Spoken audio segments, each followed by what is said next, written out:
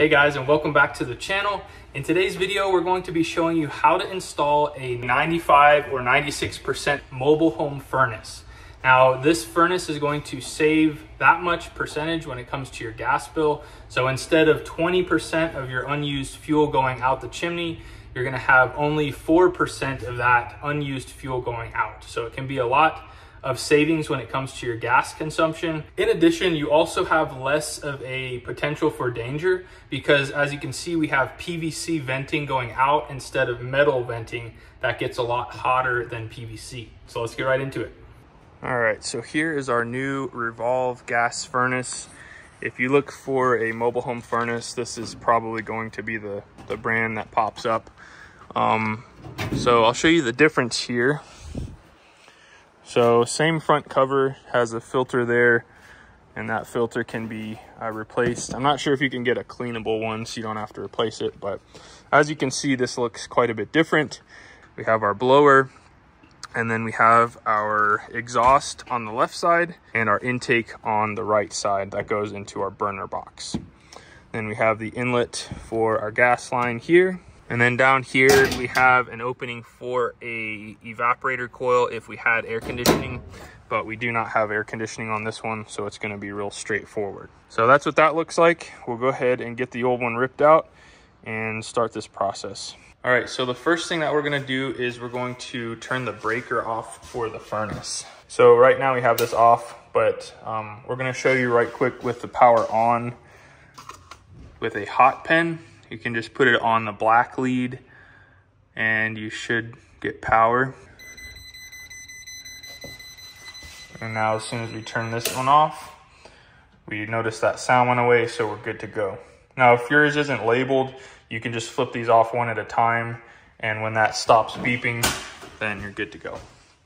So we can go ahead and disconnect the thermostat wiring and the 110 volt power. We're gonna take the fan out just to make this a little bit lighter. And this is probably the hardest part if you're replacing it with an 80% furnace. But what we're gonna do since we're just using this as a chase for our new pipes is we got a 12 inch Sawzall blade and we're just gonna cut this off um, about a couple inches from the ceiling and that'll make this sliding this out really easy. Next thing that we're gonna do is we're gonna turn our gas meter off So we're gonna spin this until these holes line up here and that's good to go. And the reason that we have to do that is because if you notice the gas line here, it threads in underneath the furnace here and our valve is after that point. So we'll take this flex line off and we'll actually unthread this whole piece, which will make it to where this furnace will be able to slide out and then we can attach the gas once our new furnace is in. All right, so our furnace is loose. There was this little adapter piece that we took out. There was just four screws here, but everyone installs these a little bit different. So all of our electrical is disconnected. And as you can see, all we did was we cut this straight with this uh, long Sawzall blade here. And that's gonna be really easy to route both of our two inch PVC pipes up there one for intake and one for exhaust. So now that this is free, we're just gonna pivot this and slide it out, and then we'll get all of this cleaned up. I wanted to take just a second to talk about something that I'm thoroughly enjoying this fall. As the summer season tapers down, uh, we get into maintenance season. And something that I've really enjoyed is Jobber and having their maintenance plans that are automated and I don't have to do anything. I can just schedule out the maintenance visits, go and do them. It's already billed. It's on an auto cycle. You can do it monthly, quarterly, uh, yearly, and it's all automated and I absolutely love it. Another thing that I really like is their request form. So if someone calls me and says their heater isn't working, I simply send them this request form. They fill it out, hit okay, and it auto saves on Jobber and I don't have to put any information in, it auto saves and saves me so much time. If you're in the service industry, I highly recommend Jobber. Check them out in the video description where you can get a 14 day, no obligations trial to see if it's a good fit for your business. All right, so we got all of this vacuumed out. Um, everything looks good. We're going to get our new furnace set in place and then we'll show you what we got. All right, guys, we got our furnace in place. Everything fits perfectly here. We've got to drill our hole here for a gas line. We're gonna use this same one and thread it back into the gas thing down there with some pipe dope on it.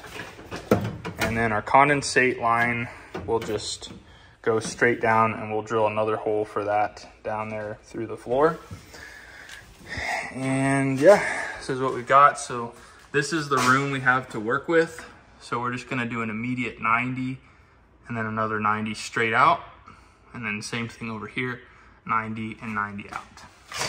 So we're gonna get a few screws thrown in on the bottom and then we'll put this cover back on and we'll be completely done down here. So here's where we're at. We're just about to get started on this. And the plan is here, we're gonna put our coupler on 90 over, 90 up and then we'll be about right here and we'll send down the pipe from the top and we'll glue it on both sides. So we have our electrical connections made here. Uh, we have our on off switch there. Our thermostat wires are connected. There's just the red wire and the W since this is just a gas heating only.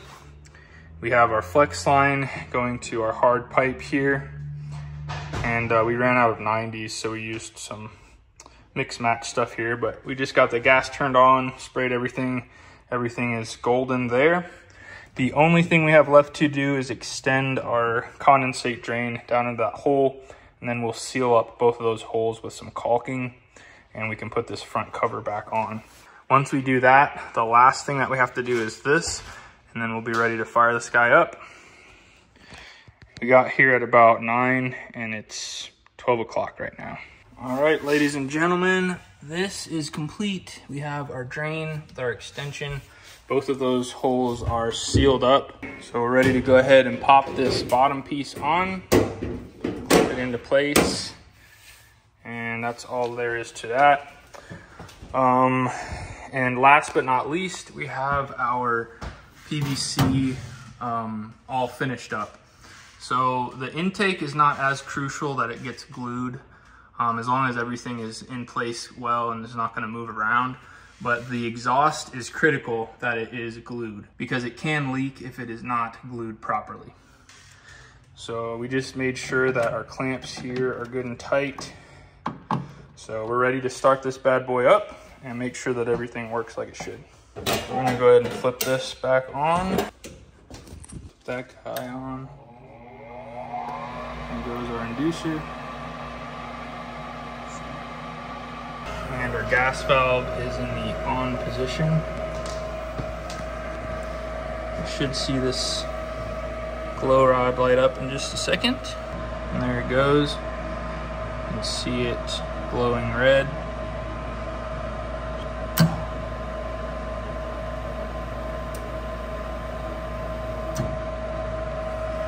Sometimes it takes a couple attempts because there's air in the gas lines.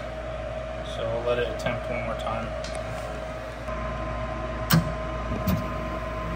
There we go. Got ignition.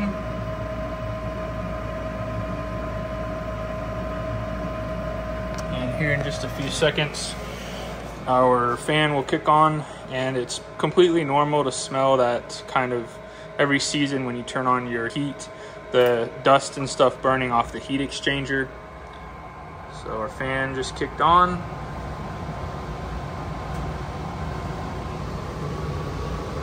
So just something to note on your 95% furnace, it is a little bit different in that your fan speeds are here. So you don't have to adjust them here. On the control board, you can simply drop it down and you will see that the fan speed will go down so if you've got way too much fan speed, you can adjust it there. And same with cooling.